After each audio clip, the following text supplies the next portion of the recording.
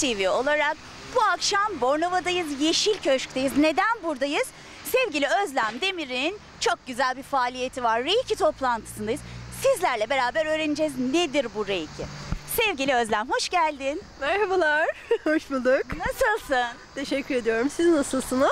Harika. Şimdi şu Reiki nedir? Ne işe yarar? Nasıl yapılır? Kimler yapar? Bir anlat bakalım. Tabii ki. Reiki ruhsal bir şifa meditasyonudur. Ee, fiziksel ve ruhsal şifadır. Herkes yapabilir. Ruhumuzu, beden, bedenimizi şifalandırır. Yani herhangi bir yaş kriteri yok öyle diyebilir miyim? Hayır, kesinlikle yok efendim. Nasıl yapılıyor şimdi? Nasıl başlanıyor bu Reiki ile? Ee, inisiyasyon diyoruz. El verme sistemiyle Reiki Master hocalarından eğitim alıyoruz. Ee, ben de hocayım. Reiki Master'ım. Ee, inisiye oluyoruz, e, eğitim alıyoruz. Buna esinaden herkes her yaşta e, Reiki yapabilir. Harika bir şeydir efendim. Ruhumuzda ve hayatımızda ne gibi bir değişiklikler oluyor peki? Geçmiş yaşamımızdan gelen blokajlardan, atalarımızdan gelen miraslardan bizi arındırır. Neden bunlar benim başıma geliyor? Niçin ben bunları yaşıyorumuzu tamamen iptal eder hayatımızdan. Yani olumsuz düşünmeyeceğiz. Onları çekiyor muyuz? Tabii ki evrene ne gönderirsek aynısını yaşıyoruz.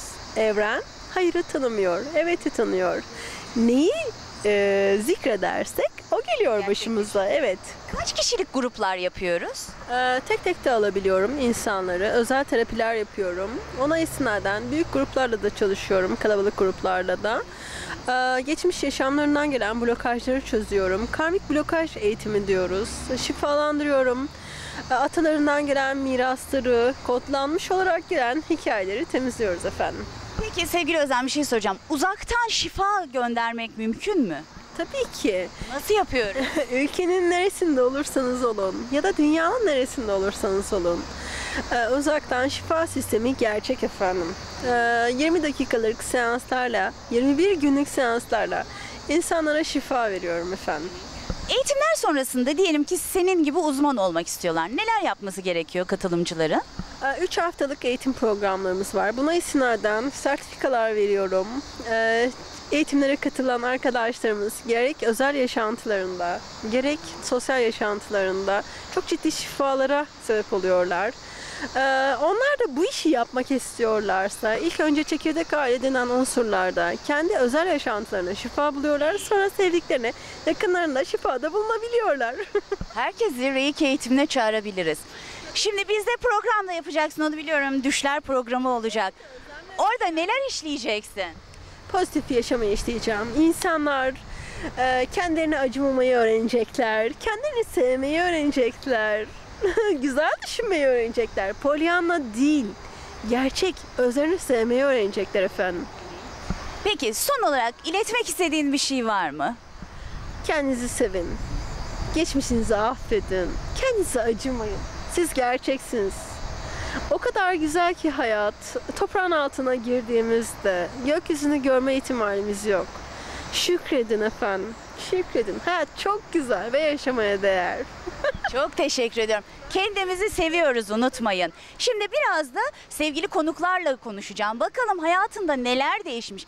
Beni izlemeye devam edin. Şimdi katılımcılarla beraberiz. Yanımda da çok ilginç bir hanımefendi var. Avukat ama aynı zamanda bu katılımcılardan biri. Sevgili Berin Hanım nasılız? Süper. Peki bu Bornova Reiki'deki çalışmalardan sonra neler değişti Berin Hanım'ın hayatında? Ee, her şeye olumlu bakmaya başladım. Nasıl yani? Hayatımdaki bütün olumsuzluklar bitti. Cesaretim geldi ve her şeyi yeniyorum artık. Sevgili Özlem Hanım çok güzel şeyler başarıyoruz. Teşekkür ediyorum. Çok teşekkür ediyorum. Sevgiyle Korkularımdan kal. Öyle kurtuldum. mi? Evet. Oo, duydunuz. Sevgiyle kalın. Teşekkür ediyorum. Şimdi yanımda Sibel Hanım var. Bakalım onun hayatındaki Reiki neleri değiştirmiş? Neler değişti? Çok şeyler değişti. Önce Özlem Hanım'la tanıştığımda birincisi farkındalığım arttı. İkincisi bana çok güzel geçmişi affetmemi öğretti. Üçüncüsü kendimi sevmeyi öğretti Özlem Hanım benim. Farkındalığım yükseldi. Artı şükredecek bir meslekte çalışıyorum zaten. Nerede çalışıyoruz? Özel eğitim merkezinde çalışıyorum ben. Engellilerle çalışıyorum. Onlarla biraz daha zor galiba. Evet tabii ki ama e, daha sakinim. Artık sinirli bir yapım yok. Daha yumuşağım. Ve herkesi seviyorum. Hayatı seviyorum. Özlem Demir'i seviyorum ben. Şimdi yanımda çok tatlı, pırıl pırıl bir kızım var. Sevgili Ekin var. Ekin, çok genç yaştayız. Ne işimiz var burada? Ee, Ben üniversite sınavına hazırlanıyordum bu sene. Özlem Hanım'la tanıştık. Hayatıma girdi. Ailemden bir parça oldu. Resmen. Ne gibi değişiklikler yaptı? Hayatına nasıl küçük dokunuşlar yaptı? Ee, Ben çok stresli bir insandım gerçekten. Hani e, sınava girdiğimde gerçek bilgilerimi aktaramıyordum ama Özlem Hanım'la tanıştığımdan beri gerçekten bütün blokajlarımı kaldırdı. Ve sınavda yani bildiğim şeyleri yapmama yardımcı oldu. Şimdi yanımda Funda Hanım var. Hayatında nasıl dokunuşlar olmuş onu göreceğiz. Sevgili Funda Hanım, nasıl bir dokunuş oldu? Valla e, kötü hayat felsefesi yok ama e, benim biraz daha sıkıcı, monotondu. Özlem Hanım'la tanıştıktan sonra hocamın sayesinde hayatım daha renklendi. Kendime olan güvenim arttı. Sevgiyi, farkındalığı öğrendim. E, sağlığım, her şeyim yerine geldi. Şu anda çok mutluyum. Sevgili Şeyda, ne yaptı sana burayı ki?